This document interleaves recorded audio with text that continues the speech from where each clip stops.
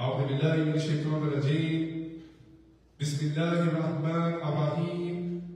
إن الحمد لله نحمده ونستعينه ونستغفره ونعوذ بالله من شرور أنفسنا ومن سيئات أمرنا. وأشهد أن لا إله إلا الله. وأشهد أن محمدا عبده ورسوله صلى الله عليه وسلم. أما بعد. Alhamdulillah Rabbil Alameen, again that Allah blesses the Biyam al-Muslimin. We say all praises due to Allah for guiding us to the path of Islam. Allah subhanahu wa ta'ala said in the Quran that if Allah wishes to guide somebody, if, one, if Allah subhanahu wa ta'ala wants to guide you to the Sirat al-Mustaqim, Allah subhanahu wa ta'ala wants to guide you to Islam, it is He who opens your heart to Islam. Again, Allah subhanahu said if Allah wishes to guide somebody, Allah wishes to guide somebody to the straight path. Allah wishes to guide somebody to the path of submission. Right? Blessed to be a Muslimin. It is He who opens their heart to Islam. So us becoming Muslim is by the favor of Allah subhanahu wa ta'ala. We should always understand that Allah guided us to Islam. Allah opened our heart to Islam. So alhamdulillah rabbil alameen. In understanding this deen of Islam, we have to understand our aqidah. We have to understand the foundations of this religion. We have to understand what is true, what is false. Some of us grew up non-Muslims, as myself. Some of us grew up in this Jahiliyyah. Some of us grew up in this dark kufr, in this land of kufr, with all of the ideologies and all of the ill norms that come with living in this society. One of the things that we were taught growing up, one of the things that was force-fed to us growing up was the concept of Darwin's theory.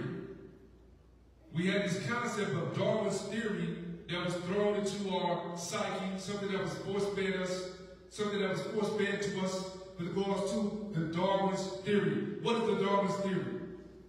Darwin's theory is that mankind came out of tadpoles or monkeys.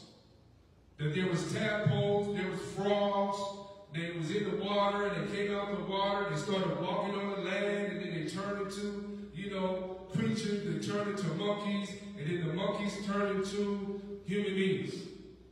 This is Darwin's theory, right?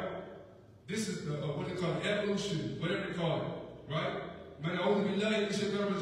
As Muslims, do we believe in Darwin's theory? Do we believe that we came from monkeys or tadpoles? Did we come from monkeys, tadpoles, pigs, or anything like that? Did we?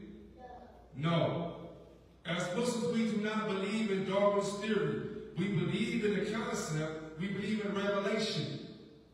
We believe in the revelation that Allah told us that very old mankind, right? Allah, Allah says, "O mankind, fear your Lord who created you from a single soul." Allah says in chapter 4, verse 1, right? O mankind, fear your Lord who created you from a single soul. So Allah said that He created mankind from a single soul, and that soul was Adam alayhi salam. Before Adam alayhi salam, there were no human beings. Before Adam alayhi salam, right, we talked about shaitan, we talked about the jinn. The jinn were in existence. Okay? That's another species. Ijtinad, unseen from the naked eye, right? Shaitan, Iblis, Azazel, we talked about that, right? Today we're talking about mankind. Before Adam and salam was created, there was no human beings in existence. Thus, Adam and salam was the first human being created. Whether any giants or any other type of human beings or any type of, you know, species in existence before Adam salam and the jinn, no, not that we know of. Allah tells us about the malaika, about the angels, right, created of nur. Allah tells us about the jinn, created out of smokeless fire. And Allah tells us about mankind, created out of what we're going to talk about today, Hama in Masnoon, a black clay. Mankind was made out of clay. Right? So before Adam salam, there were no human beings in creation. So the concept that there were any human beings before Adam salam, or you know, there's secret books saying that there were any other human beings before Adam salam, we do not believe this as Muslims. That is blasphemy. That goes against our aqidah, our foundation, right? The tenets of Islam. Allah tells us that all mankind, all mankind is created from a single soul, and from that soul, right, from a soul came its mate, Adam and Eve. So Allah said that He created Adam and He created Eve, and from all of these two, from Adam and Eve, came all of mankind. So Allah said if ever created, Allah created uh, all of mankind from a single soul, and from that soul created its mate, and from those two made all of the countless men and women. So from Adam and Eve came all of mankind. That is our belief system. That's why we say everybody's bad Adam. We are the children of Adam. We are the children of Eve. That's why everybody in existence, they have a similar chromosome, a similar genes. Goes back to that same gene. Goes back to that same mom. Goes back to that same daddy. Right? We have the similar genes and chromosomes and whatnot because we have the same mother and the same father, Adam and Eve. Okay? So Muhammad all created from a single soul and its mate, Adam and Eve. So the concept, everybody was created from Adam and Eve. Everybody came from Adam and Eve. Doesn't matter whether you're black, brown, yellow, Chinese, African, Asian, Caucasian. Everybody came from Adam and Eve. The concept of uh, another race created another race, the, the Yakub's theory, and you know, the white man was created and all that, and only Bilahi Shikaraji, all colors come from Allah subhanahu Allah said that buried in the signs of Allah, He created different colors. Allah created the different colors. And all of the colors came from Adam and Eve. Right? How did all the colors come from Adam and Eve? Let's find out, inshallah. Allah tells the Quran that Allah created Adam and salam from Hama'in Masnoon. Hama'in Masnoon. Allah said he created Adam salam out of a black clay. So we're told that Adam salam was created of a black clay. We have another hadith where it says that the angels went to all four corners of the earth, right? Created all different type of dirt and mud and put it all together. Right? Muhammad I mean. But Allah specifically said that He created Adam salam out of Hama in Masnoon as Ibn Kathir, Ibn Abbas, Ibn Mas'ud. Right? They said Hama in Masnoon is a black clay, like a potter's clay that you could mold and shift. Right? So Hama in Masnoon is a black clay, so therefore Adam salam was created out of a black clay. Also, the word Adam also means black. The word Adam in Arabic, not only is it an ism, not only is it a name, but it's also a sifat, which means a description. So the word Adam is also a description. So Adam is a name, and Allah said He created Adam Hama in Masnoon from a black clay, and the word Adam is a sifat, it is a description. It means black. So Adam is the name of Adam. He was called Adam. He was made of Hama in Masnoon, a black clay, and the word Adam itself means black. How do we know? In describing Ali ibn al in describing Bilal bin in describing Musa alayhi salam, in describing uh, Isa alayhi salam, they are described as what? Adam. Adam Shadid. Udama. Udama, Adam Shadid, right? Described as dark black. Isa alayhi salam described as Adam. Musa alayhi salam described as Adam, right? Ali ibn La'an is described as Adam. Bilal ibn La'an is described as Adam. Abu Dhar is described as Adam. This is the description. Yes, it is the name of the first person created, Adam salam, but it's also a sifat, which is a description. So he was named Adam, made out of Adam, and he looked at Adam. So Adam salam, Adam was black. So we say that Adam salam was black, made out of black clay, right? Hama in Masnoon and the word Adam means black, then how did all of the colors come from black? How did all of the other colors, the Asians, the Caucasians, and all this come from black? If we go to biology, and this is something that I learned in the 10th grade, and this is something that is a known knowledge. Those who go to high school, they take When you take biology, you learn about you learn about dominant and recessive genes. Dominant and recessive genes. Right? And I learned this in the 10th grade. Dominant colors and recessive colors. Right? We learned that black is a dominant color. Anything less than black is called recessive. Dominant, recessive. You can have a dominant color and you can bring about recessive colors. But you cannot take recessive colors and bring about a dominant color. So understand the reality. This is biology, scientific fact. So dominant recessive genes. So if we have black and you mix it and dilute it with other things, you come about all the other colors. So all the other colors come from black. Black was the origin. Why do I say so? I don't say so. Allah says so. Allah was saying that Adam Salam was the first person created. What was he created of? Hama in Masnoon. What is Hama in Masnoon? It is a black clay. Right? What does the word Adam mean? It means black. So we say that Adam Salam and Eve were black, then all the colors come from this.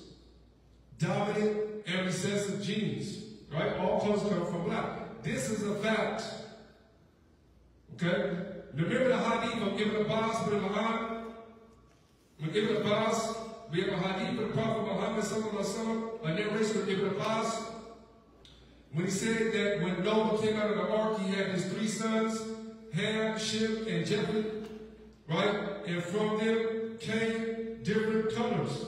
From the lineage of Ham came the blacks. From the lineage of Shem came the blacks. From the lineage of Japheth came those that were lighter skinned.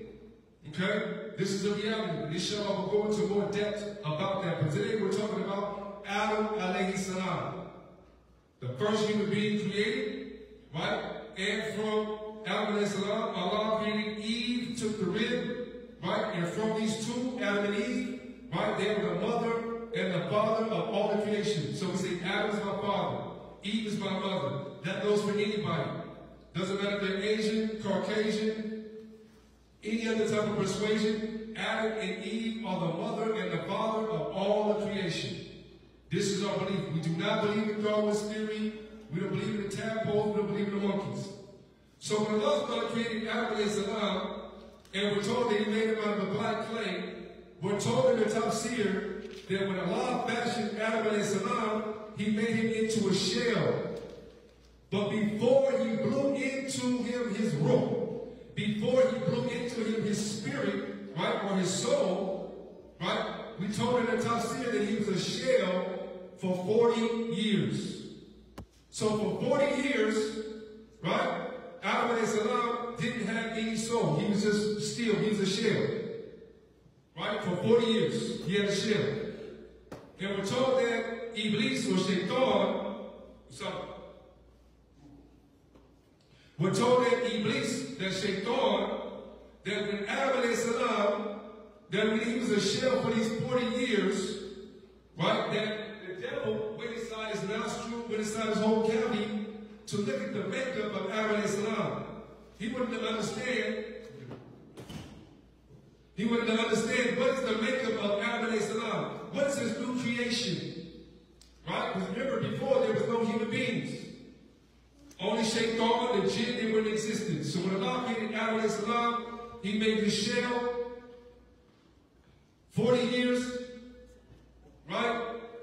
Shaitan went into the nostril to find out the makeup of Adam salam. We're also told in the tafsir, we're also told in the hadith, that Adam salam was 90 feet tall. Adam salam was 90 feet tall. The first person created. Right? Adam salam. Hamad Masnoon. Told he was black. Right? Kiki hair. We're told that he was 90 feet tall. 90 feet tall. How can you be 90 feet tall? Man, that sounds, you know, unimaginable. This is what the Prophet Muhammad sallallahu told us. The Prophet Muhammad said in Hadith, he said that those that make it to the Jannah, those that make it to paradise, you will be as handsome as Yusuf alayhi salam. Right? We're talking that the prophet Yusuf salam, he's the most handsome of the prophets. He's the most handsome of human beings.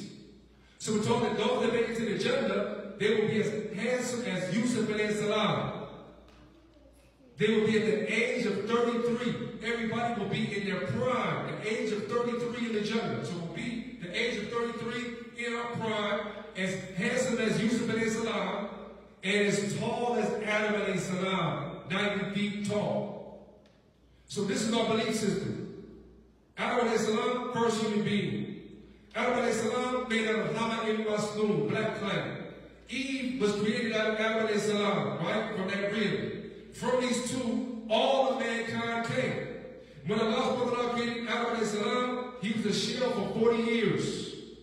Shaitan went inside his nostrils, everything, right? Adam and salam was 90 feet tall. Understand this, this is part of our belief system.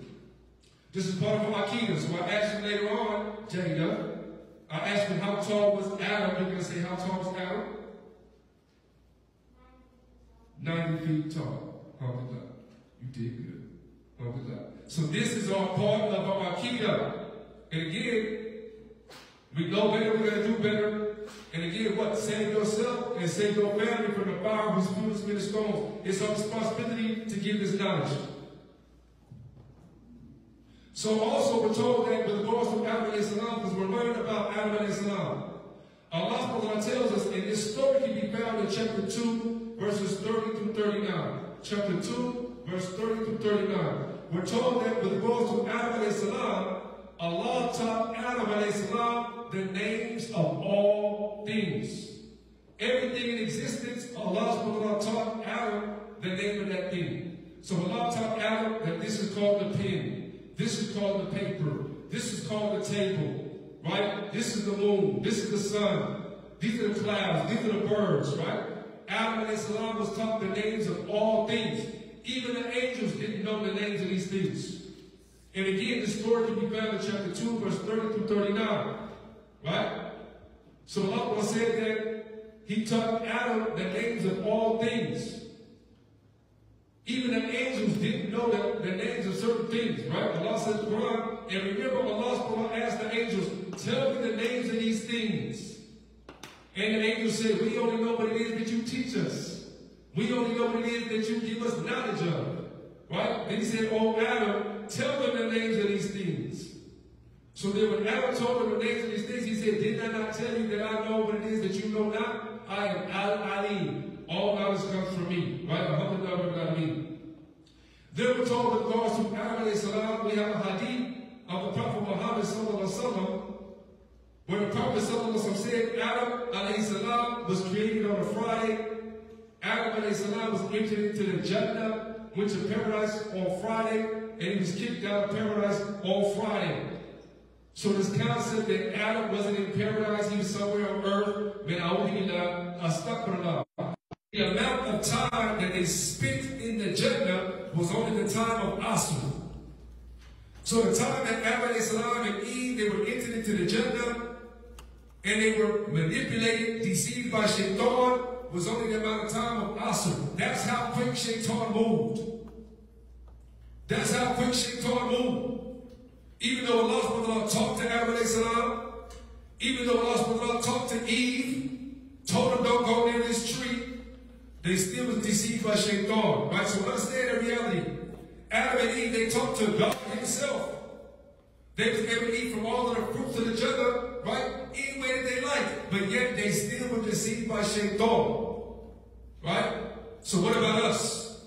How can we get deceived? How can we make mistakes? When Adam and Eve, they spoke to God himself. They were in the Jannah.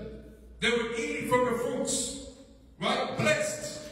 But yet they still were deceived by Shaitan. So we can be deceived by Shaitan as well. I only love you, Shaitan Rajim. Then when they were kicked out of paradise, Allah said, and those who follow died. Right? Allah sent down Adam, right? Allah kicked Adam salam out of the paradise. And we understand that Adam salam was forgiven of his sin. We're told that Adam salam and Eve, they made dua to Allah, Oh Allah, forgive us of our sins we have wronged ourselves. And it said that Allah accepted their tawbah.